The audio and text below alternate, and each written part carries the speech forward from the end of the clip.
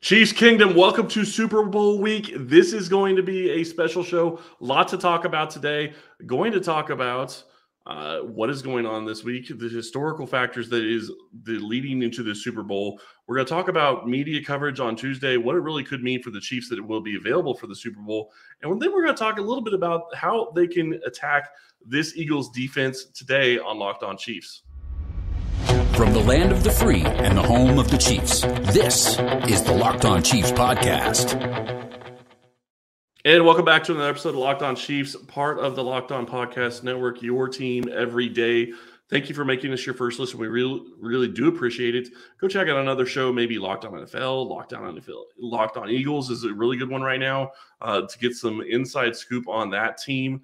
Uh, a lot to talk about. And Ryan is also doing the NFL Draft Show. I am Chris Clark uh, from Locked On Chiefs. He is Daniel Harms from RGR Football. Daniel, thank you so much for coming today.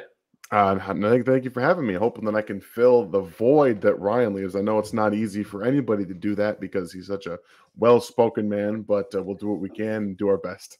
Yeah, well, at least I don't have to see the ginger right now, so I appreciate that. uh, you know, when we start looking at what this means for Kansas City, they are in their third Super Bowl after the third Super Bowl in four years. Uh, that is rarefied air when you start looking at what that means for this team, what that means for the city, what it really means for the franchise overall, and what it means for Patrick Mahomes. Yeah, coming into the Bengals week, this was a lot of there was a lot of legacy talk. I don't know why. It didn't matter if he won that game, lost that game. This is something that quarterbacks, the teams don't typically do. They don't do this. They don't go to five AFC championship Wait. games. Wait a second. So it's not normal for them to go to five straight AFC. I know. Host it's, them. It's, kind of weird. Like that's not people normal. Just assume Patrick Mahomes to win every single Super Bowl. It's not normal to happen. What's happened? What he's done since starting. Okay, second year starter. He's never not hosted an AFC Championship game. Think about that. Just just think about it. Who have you? Who do you know that's ever done that? Nobody. It's never happened before. So that's this whole legacy talk about if he loses this game to Joe Burrow. Another thing, quarterbacks don't play each other, guys. They don't. So let's stop the whole this quarterback can't beat this quarterback. No, you're right. He doesn't play him, so we can't beat him anyway. So yeah. it was a whole week buildup of legacy talk. But here we are. Patrick Mahomes has defeated the Cincinnati Bengals. Okay. The Cincinnati Bengals, not Joe Burrow. And now he's in his third Super Bowl. This time around, a much better offensive line than last time, at least collectively than they had going into that game. So huge. a nice, yeah, it's going to be a huge matchup for him. He's got two weeks off to heal that ankle. He should look better than he did against the Bengals, and he looked really good against the Bengals with a high ankle sprain. But historically, what they are doing right now in Kansas City, it's unfathomable. It doesn't happen, and just a, just kind of appreciate what Andy Reid brought to the team first, establishing that culture, building from within, and then, you know, finding a chance, taking on that quarterback. And now they're here they are. Five straight AFC championship games, all in Arrowhead Stadium. It, I don't know. My entire life as a Chiefs fan, this kind of stuff, it doesn't happen to any team. So appreciate it for what it is, the historical value as well as the right now value. It's very, very important. And I will never forget the day he was drafted. It was actually my mom's birthday, and uh, the NFL draft is again on my mom's birthday this year. So nice. interesting how that's going to play out. Uh, you know, six years to the day, they will have it again on April 27th. So, uh, yeah, looking forward to that. But it is crazy because you you look back at what it really meant for Kansas City because mm-hmm. they had Alex Smith. He had just gone to a Pro Bowl. He had just taken them to the playoffs. They had played very well. Yeah. And then they go and they draft, they trade up a first, another first round pick and a third round pick, and they go trade up to get Patrick Mahomes. And oh, well, look what he's done so far in his career. Two years where he's basically been MVP because I guarantee, I'm pretty sure he's going to be MVP again this year. Yeah. Two years of over 5,000 yards passing, a year with 50 touchdowns, in his basically rookie season as a starter, mm-hmm. throwing 50 touchdowns, six in one game against the Steelers you don't see that kind of thing happening against NFL off, off or against the NFL defenses. And then you look at everything else he's done. you know, look at what he's been able to do and elevate all the players around him. I'm glad you pointed out the offensive line because I think that's huge going into this game. Philadelphia has a great defensive line. They really get after the quarterback. They are they have the most sacks in the NFL this season. Uh, Kansas City's right. Well, Kansas City's actually well behind them when it comes yeah. to the number of sacks uh, that Philadelphia was able to get this year. So that's going to be a big test. But Kansas City's offensive line is a lot better than it was when they went to the Super Bowl against Tampa Bay. So you have to feel better about that. And you know, you start looking at the injuries, and there's a lot to talk about there when you start looking at all the players that are injured. Uh, you know, MVS or MVS is going to be healthy, obviously. Uh, Justin Watson could be back this game. Uh, you look at, you know, guys like Willie Gay who went out with an injury, L'Jarius Sneed, Juju Smith Schuster, uh, you know, Kadarius Toney, all those guys could be back for this game. They're all questionable, listed on the injury report on Friday. Uh, a lot still to play when we look at that. Yeah, this is uh this whole week leading into it, we're going to get a good idea come Tuesday. At least we assume, based off of things that have happened in the past, we'll get a good idea Tuesday of who should be relatively active, ready to play. And as soon as practices start up this week, based on who's participating, who's doing drills on the sideline, you know, they were doing some of that last week. I think everyone outside of Mecole Hardman they're trending in the right direction. That's all Andy Reid likes to give us right now. That's what typically what they do. It's all that sportsmanship, games, gamesmanship, whatever you want to call it, head coach speak. They like to keep teams guessing. But I would bet the Eagles are preparing for everybody except for Mecole Hardman to play in this football game because I think all of us right now kind of are. Yeah, and Mecole will be a huge person to have in this game just because yeah. of what he can do vertically and horizontally. A lot like Darius Toney, both having both those guys on the field at the same time hasn't happened much this season. Just actually, I think in the AFC Championship game against yep. the Bengals, and uh, really they weren't able to see the field very much together. That's something that I really wish that would have been able to happen a little bit more. Uh, when we get back, we're going to talk about who's going to be available for media day on Tuesday and why that is such a big deal. But first, I want to tell you about our friends over at BetterHelp. This show is sponsored by Better Therapy, BetterHelp Therapy Online. Unfortunately, life doesn't come with a user manual, so when it's not working for you, it's normal to feel stuck. Therapists are trained to help you figure out the cause of challenging emotions and learn productive coping skills, which makes therapy the closest thing to a guided tour of the complex engine called you.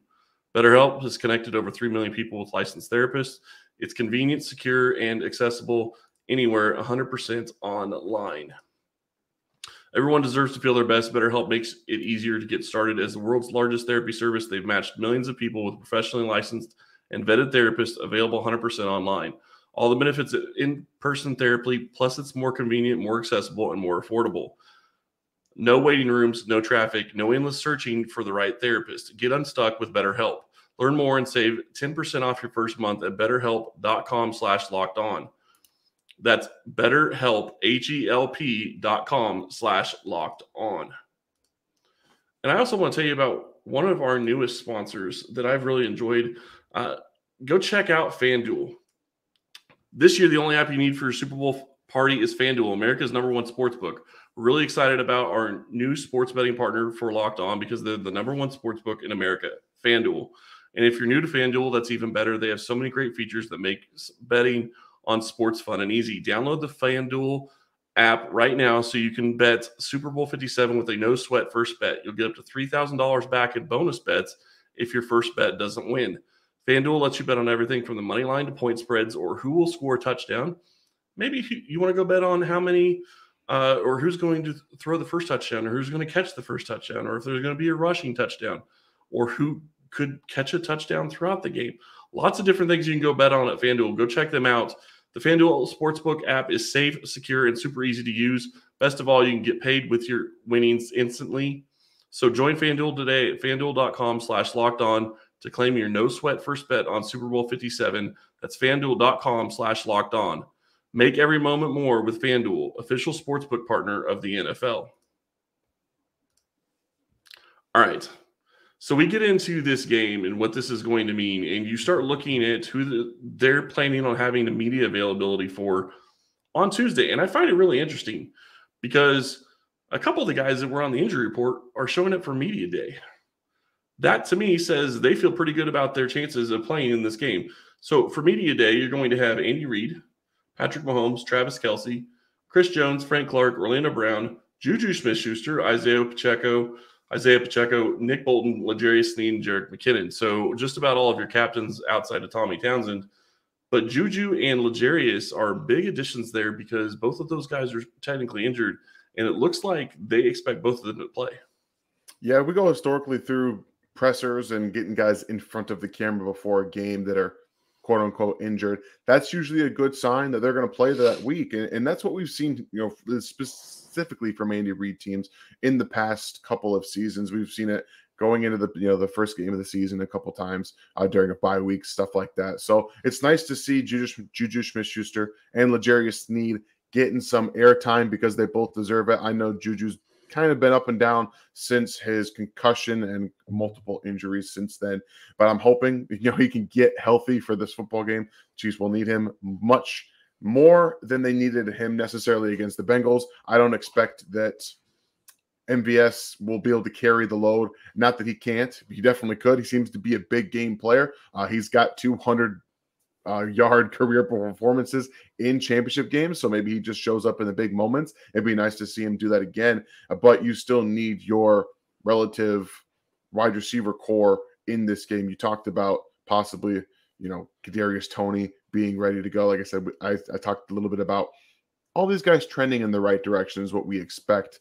But Juju and L'Jarius Sneed are both going to be pretty big components. I know that the young guys all three of those young players, you know, we should call them rookies. They're not rookies anymore. Once you hit the postseason, really, you know, that rookie season's over. It's time to lock in and become, you know, your second year, quote unquote, type players. They all played well against the Bengals, but having Sneed in this game is going to be huge. So the fact that they're both going to be available for the media to talk on Tuesday, it's a pretty big, pretty big thing for them.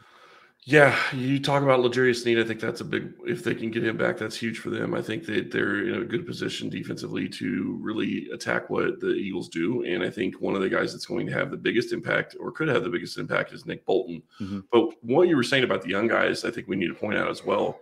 All three of those corners stepped up and played, and they stepped up and played against. And I'll just say it. I think the Cincinnati Bengals had the best one-two punch in the NFL. Tee Higgins and Ja'Marr Chase are huge are, are fantastic wide receivers, and I think they're better than AJ Brown and DeVonta Smith combined. Uh, now that said, AJ Brown and DeVonta Smith are very good wide receivers. So, uh, you know, AJ Brown is is an animal all of himself, and I think that that's going to be a key in this game. Is you have all these rookies that are playing back there. You know, you look at Jaylen Watson uh, getting an interception last game, uh, two interceptions in the postseason. Mm-hmm. Uh, huge, huge playmaker for Kansas City right now.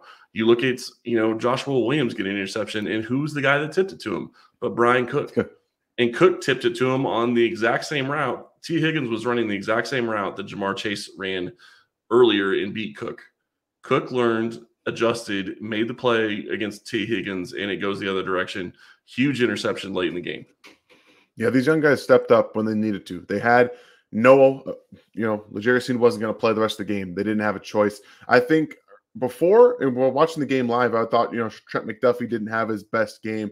But, you know, you go back, I think Tyler Boyd got him a few times. And then obviously Tyler Boyd left the game. But other than that, I think he played really, really well. And then the young guys on the outside, if you look back, they didn't get beat on like normal everyday plays. They were getting beat by oh wait, okay, we have to throw it up because I'm getting pressure in my face from the Chiefs defensive line. And Joe Burrow's like, okay, I'm taking a shot to Tee Higgins or I'm taking a shot to Ja'Marr Chase. And that's when they got beat. Okay, I think I can live with that if that's going to be when you get beat every once in a while.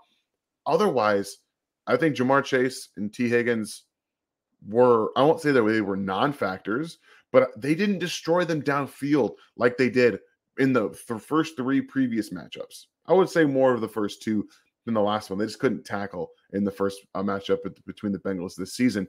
But this was a completely different feel. The Chiefs tackled in this game. Trent McDuffie had multiple times where he came downhill and tackled Ja'Marr Chase one on one in open field. One on one with Ja'Marr Chase. That's not easy to do. And he did a really good job there. You saw Josh Williams come in a couple times on some screens. They were getting after it. And that is the attitude and the mentality that I love from these young players that's going to be able to hold through and impact this game against the Eagles. So I, I love what they're doing right now and they should definitely be recognized for what they've been able to do and had to overcome this season, especially with so many rookies playing in this defense. Yeah, and one when you were talking about just throwing it up with Tee Higgins and Ja'Marr Chase, yeah. that reminds me of a meme that Joe Burrow had a couple of years ago. Oh, screw it, Ja'Marr Chase is down there somewhere. Uh, that's kind of how I felt on that Higgins yeah. touchdown that touchdown throw. I thought, yeah, Higgins is down there somewhere. I'll just throw it up and see if he can go get it. Exactly. And, and, Watson had a great. I mean, he was in position. He couldn't get his head around early enough, or maybe he could have played on the ball. But regardless, they were fighting every single mm-hmm. snap. That is so huge for those rookies. And I'm really glad you also pointed out Trent McDuffie did a fantastic job coming downhill and tackling Ja'Marr Chase. That never happens. One on one against Ja'Marr Chase, he usually makes at least one person miss. McDuffie was able to do get it done, get him down one on one. Those guys were really locked on in that game, and that was so huge. You start looking at what it's going to be this time around. Now you're just starting to look at the Eagles. The Eagles like to run the ball. That is going to be a huge thing for Nick Bolton. And one of the things I liked about Bolton against the Bengals is what you watch Steve Spagnuolo do. At least it seemed like one or two times a drive, Nick Bolton would come down and it would look like he'd be head up on the center he may be a couple yards off the ball, but it looked like he was possibly going to blitz. It made them look at Nick Bolton like he was going to blitz. It made them change the line coverages and who was going to get who. It gave your guys one on one, and that really hurt the Bengals' ability to come back because then they had to start keeping more guys in to block. And when you only have three guys going out in routes, it's a lot easier to cover. Yeah, it's funny you mentioned that. When you watch Nick Bolton play, we know the big weakness that he has is in coverage. But when you mug him up like that, you do two things at once. You force an offensive line to respect that, which, like you said, creates one on one matchups, but it makes his job in coverage easier. He has less ground to cover. He doesn't have to come down from his spot to go to a running back on left side. He can just go down the line. So if that ball comes out, boom, that's where he's there. He can make a tackle. So it, it makes his job as a one on one defender against a running back easier than having to create clear so much space. So I, I'm expecting the Chiefs to do that, maybe a little bit of different technique because you don't want to do the same thing over and over again against a really good offensive coach and Nick Sirianni. They'll have different answers for that and ways to attack it. But excuse me, but that was a really nice counter to allow Nick Bolton to limit his liability problem in, in coverage. So I like to see that but he's going to be such a big, impactful player because when the Eagles are running hot and they're doing everything in this in their offense and they're doing it, making it look easy, it starts with the run game. They build the quarterback run game and the play action pass game off of their best offensive line football, getting guys moving and just creating, you know, five, six, seven yards before all three of the running backs are, t- are contacted before they even see contact. So him coming downhill, getting in the backfield, possibly getting a c- couple TFLs in this game, it's going to be hugely important for him to be able to identify and trigger downhill quickly. That's going to be a very very tough task responsibility wise because you don't want to get beat over the top uh, with with play action pass. So early get down, get some TFLs, get more comfortable. Maybe the Chiefs offense can help out a little bit with some points here and there to get you a lead so you can take some more chances on, on what you're seeing. But uh, getting this run game stopped for the Eagles and putting more on Jalen Hurts' plate is the best way to win this football game. Yeah, and I'm glad you say it that way because I completely agree with you. I do think that if you put this game on Jalen Hurts and Kansas City gets up two scores early, uh, and maybe even in, finds a way to maybe push it out to three scores. I, I, that would be impressive against this Eagles defense. But I think if Kansas City can find a way to stop the run, and I almost wonder if what you're going to see is Kansas City using Chenal a lot more than you've seen him throughout this season because they're going to need to be in their base. They're going to need to try to stop the run more. So it'll be interesting to see if he's able to play. And that would just be another rookie mm-hmm. that would be able to step in and, and possibly the biggest game, uh, or, you know, and obviously the biggest game of his career. And you're sitting here with all these rookies on defense just playing huge, huge snaps and being successful. I think that that shows that Veach has done a fantastic job drafting talent to this defense. And when we get back, we need to start and flip it over and start talking about the offense a little bit, what they can do against this Eagles defense to try to take them out of what they like doing but I want to tell you about our friends over at Blue Nile. Valentine's Day is coming up, which means romance is in the air more than usual. I don't need to tell you, all you lovebirds, that you've probably had your date plans on the calendar for weeks. But have you found the perfect Valentine's Day, Day gift yet? Whether you're celebrating this day of romance or whether you're ready to pop the question, you can find jewelry as unique as she is with the modern convenience of online shopping at BlueNile.com. At BlueNile.com, you can find the perfect piece of jewelry for life's special moments or even create the custom engagement ring of her dreams. Their simple online tools let you choose the diamond shape, size, and clarity, as well as the setting style. Blue Nile's bench jewelers will then handcraft that perfect piece to your specifications. Blue Nile provides expert guidance, in depth educational materials, and unique online tools that place you in control so you can forget the usual hassles of jewelry shopping process and focus on the romance. Every order is insured and arrives quickly in discreet packaging that won't give away what's inside. Shipping is free and so are returns. Right now, you can save up to 50% at BlueNile.com. That's BlueNile.com for up to 50% off. BlueNile.com. All right. So, one of the biggest things Kansas City can do in this game, and this is something that they actually really took advantage of and, and did things that I wasn't expecting against the Bengals. And they got a lot of YAC from a guy that really wasn't getting that much YAC earlier in the season.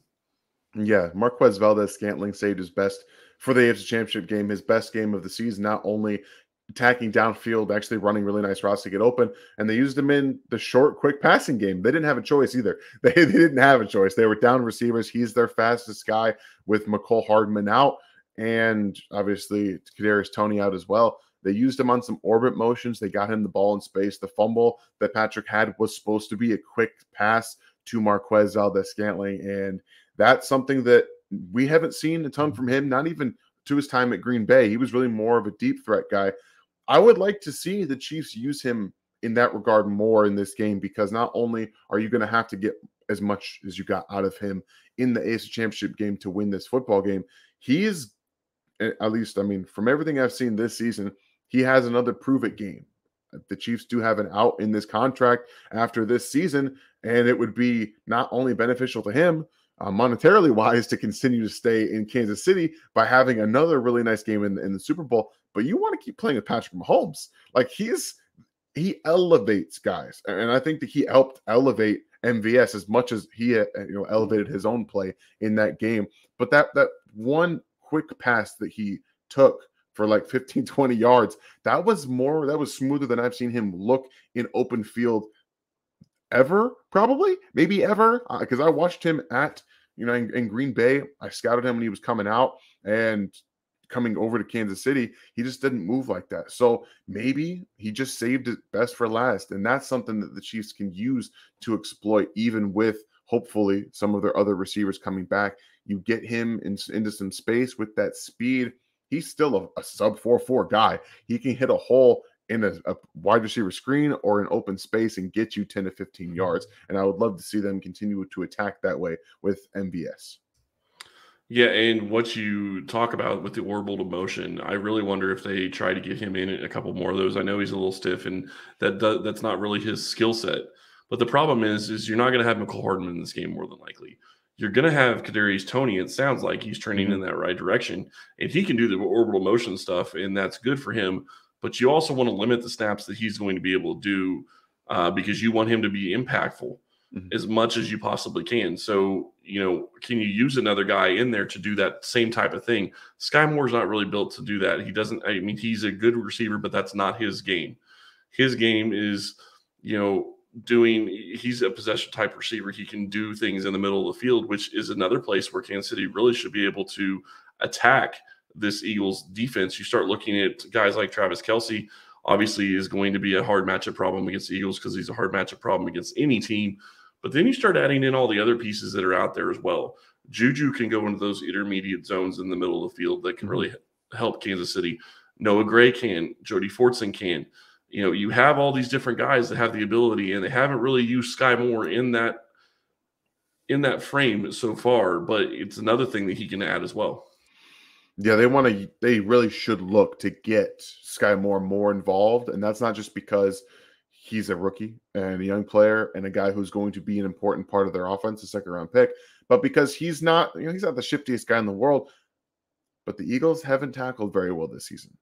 That's one thing that they need to look to exploit And one guy who can make that happen is Skyy Moore. He's done a very good job of not just making guys miss, but breaking tackles when given the opportunity this season. So if you're going to be hampering with Juju Smith-Schuster and taking you know reps from Kadarius Toney to keep him healthy, Skyy Moore offers a little slant option over the middle of the field, wide receiver screen ability. Even we've seen him being used on orbit motions, we've seen him being used in jet motions, get him in space and allow him to break a tackle here and there because he's still probably more of a four five with pads on kind of player. He can still do some some speed things after the catch, but his most impactful way in this game would be to get him in space to allow him to break some tackles. And the Eagles, like I said, have not been very good at tackling. Travis Kelce should be able to do a little bit of that too. If you guys, I don't know if you heard of him, there's this Hall of Fame tight end over the middle of the field against some of their younger um, linebackers that they got in Philadelphia. And when you don't tackle well against Travis Kelce, I mean, 10 to 15 can turn into 20, 30 real quick. So I think that could be a lot of fun. It's not only just the 10 to 15 with Travis Kelce, it's the yeah. It's the volume of the 10 to 15. Like you, you talk about it can turn into 20 or 30. And yes, I agree with you there but it's also the volume. It's mm-hmm. it's the matter that he can go over the field and he can always find places in the zones. And one of the things, actually, I think it was in the New York Times, there's an article about Patrick Mahomes or about Travis Kelce and why he's always open. And one of the things that they talked about is because Kelce and Mahomes are on the same page, and all the other wide receivers in Kansas City are getting to this point as well, where they watch Patrick. They're running their routes, they're doing mm-hmm. what they need to do, but they're watching what their quarterback's doing because they know no matter where they are in the field, that he could always throw them the ball. And that is so huge. And Kelce finds ways to open up to get open for Patrick. And some of the other wide receivers are starting to do that as well. Juju is a guy that early in the season didn't do that near as much, but he's come on as late, you know, trying to open up for Mahomes and, and getting into that position. MVS did it this last game. Uh, you know, and, Mahomes is getting back a target this game they didn't have last one in, in Justin Watson which I'm not going to say is a huge deal, but it's big enough that he takes shots to Watson. He trusts Watson. So that's going to be something to watch.